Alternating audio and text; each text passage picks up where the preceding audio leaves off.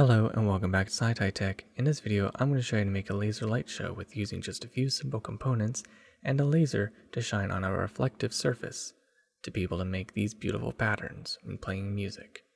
Let's get started.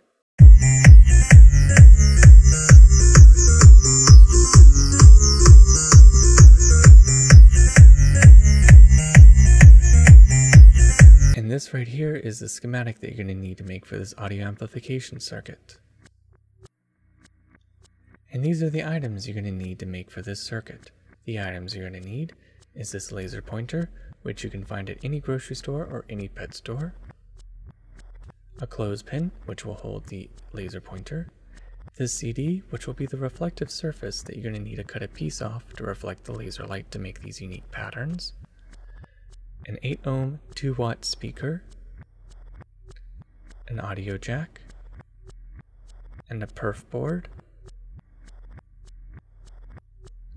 an LM386 microcontroller, an 8 pin IC socket holder, a 220 ohm resistor, a 22 microfarad electrolytic capacitor, a 1000 microfarad electrolytic capacitor, a slide switch, a 9 volt battery clip, a 9 volt battery, and this cardboard tube which will house the entire electronics. And you're going to need this latex balloon. Now let's go ahead and assemble this project and let's get started. First you're going to need to take your IC socket holder and place it in the center of the perf board. Solder one pin into place Hold the IC socket holder flat and then remelt the solder. That way everything is flush to the board. And now solder the rest of the pins into place. And it should look just like that.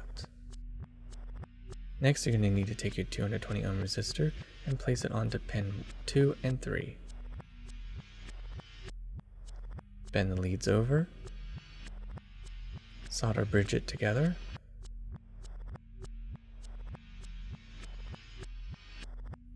Cut off the leads, and it should look just like this.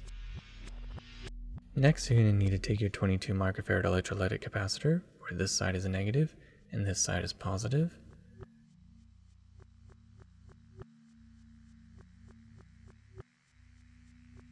What you need to do is connect the negative to pin 4 and the positive to pin 3.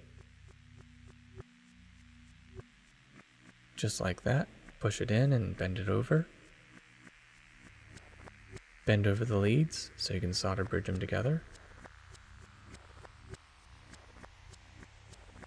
Just like that. Cut off the leads and it should look just like this. Next, take your 1000 microfarad electrolytic capacitor and connect the negative to pin 5.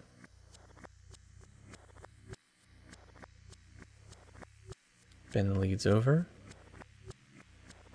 solder it into place, and then solder bridge it together.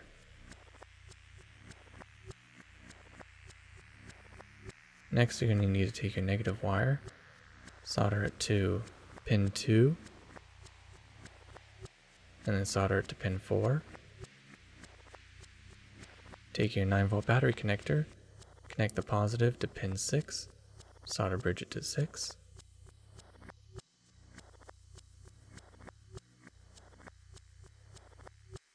Take the negative of the battery clip and connect it to pin 4.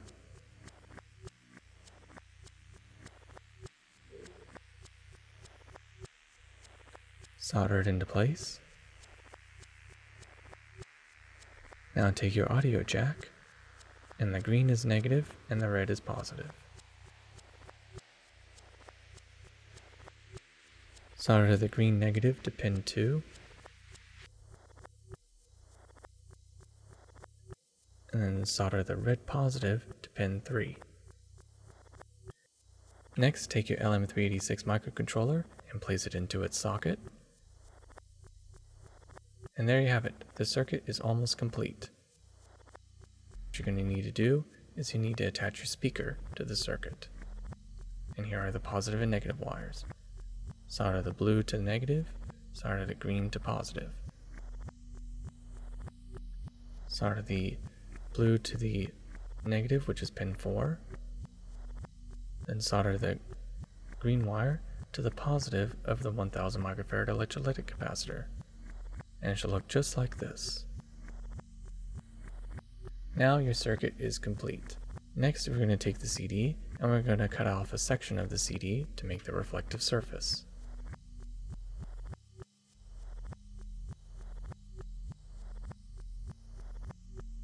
There we go, now we have our reflective surface ready to use and this part is the top part.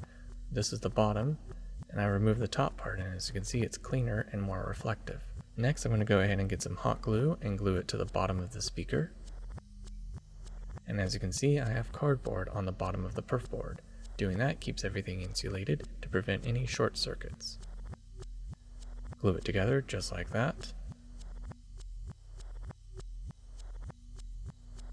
And there, complete. Next I'm going to take the speaker and place it inside of the tube just like this. Go in deep enough, reach inside,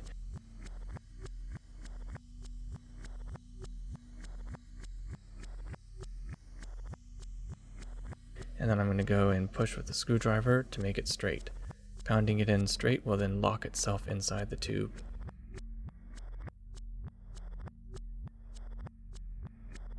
A little bit more to make it more straight, and there. The speaker has locked itself inside.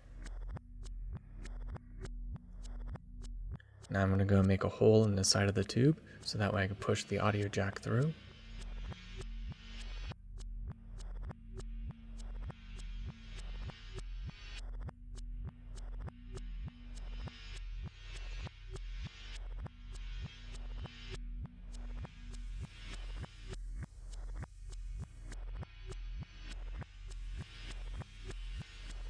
There we go, just like that.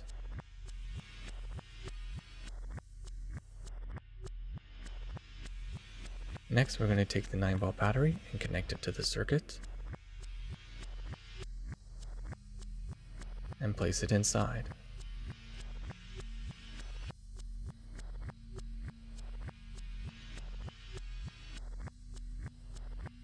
Now let's go ahead and take my laser pointer and I'm going to go and turn the laser pointer in a way where the clothespin is pushing on the button.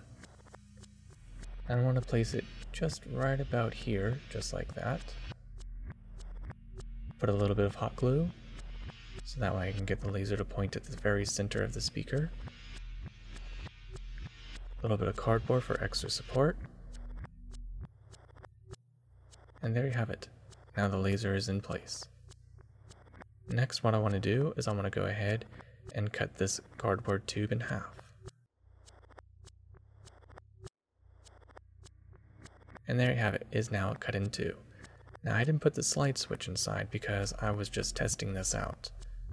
Now as you can see there's this reflective surface that I've glued onto the speaker. And I tried to put the laser on that to make it work and it doesn't work. This is why I've cut this tube in two because what I needed to do instead that does work is to take my balloon. And what I want to do is take my balloon, cut off part of it, and put it over the tube, you know, cut about here.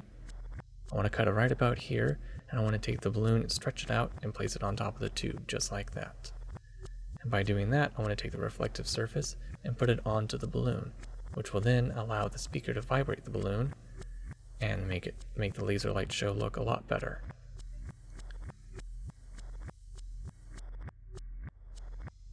There we go. Cut off the balloon just like this. Stretch it out. Place it over the tube just like this. Now I'm going to go ahead and get my electrical tape and tape the balloon down. Using the balloon method works a lot better because the speaker will make the balloon vibrate better which will then make the laser light show look much cleaner and better.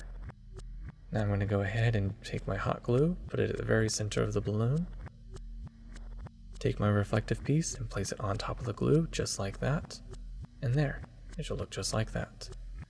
Now this top piece needs to go on top, make sure the laser is aligned to shine onto the reflective piece, and tape it in.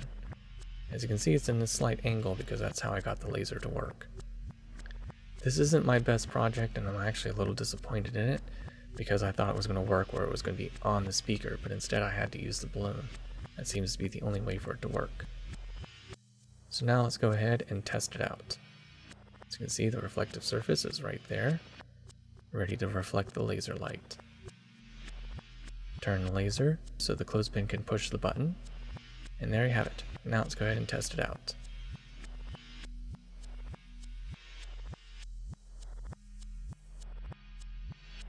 As you can see, the laser is shining on the reflective surface. And as you can see, it's shining on the ceiling, just like that. Now let's test it out. And now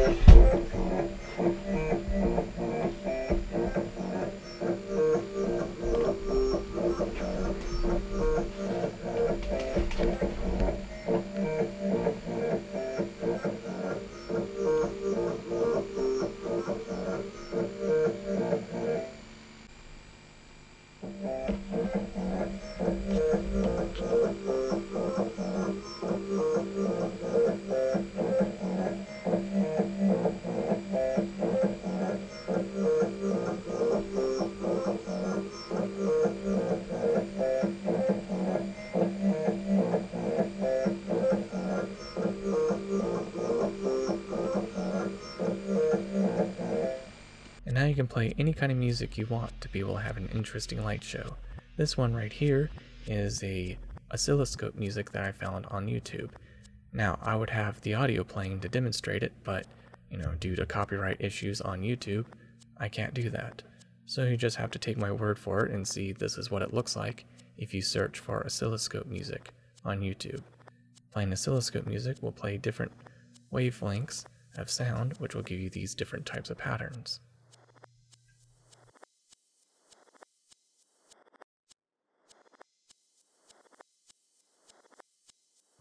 And there you have it. Now you know how to make your very own laser light show with using just a few simple components and a few simple parts. And there you have it. Thank you for watching SciTyeTech. I hope you learned something new, and don't forget to like and subscribe, and of course click on the bell icon to be notified for future SciTyeTech videos. Till the next tech, goodbye.